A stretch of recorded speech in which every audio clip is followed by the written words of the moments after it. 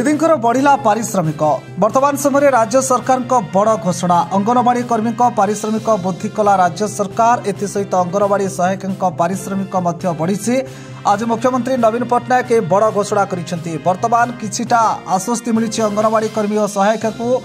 ବର୍ତ୍ତମାନ ଖବର ଯାହା ସାମ୍ନାକୁ ଆସୁଛି ବଢ଼ିଛି ଅଙ୍ଗନବାଡ଼ି ଦିଦିଙ୍କ ପାରିଶ୍ରମିକ ଏହା ସହିତ ସହାୟିକାମାନଙ୍କ ମଧ୍ୟ ପାରିଶ୍ରମିକ ବଢ଼ାଇଛନ୍ତି ରାଜ୍ୟ ସରକାର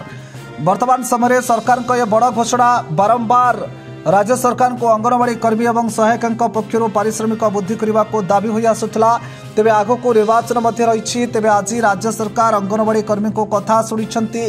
स्वल्प पारिश्रमिक कार्य कर अंगनवाड़ी कर्मी और सहायिका एपरिक दाबी नहीं राजरास्ता को अंगनवाड़ी कर्मी मैंने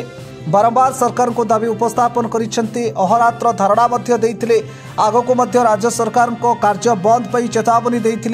अंगनवाड़ी कर्मी पक्षर ତେବେ ବର୍ତ୍ତମାନ ସମୟରେ ସରକାରଙ୍କର ଏ ବଡ଼ ଘୋଷଣା କୁହାଯାଇପାରେ ଏହାଦ୍ୱାରା ରାଜ୍ୟର ମୋଟ ଏକ ଲକ୍ଷ ଅଡ଼ଚାଳିଶ ହଜାର ଅଙ୍ଗନବାଡ଼ି କର୍ମୀ ମିନି ଅଙ୍ଗନବାଡ଼ି କର୍ମୀ ଓ ସହାୟିକା ଉପକୃତ ହେବେ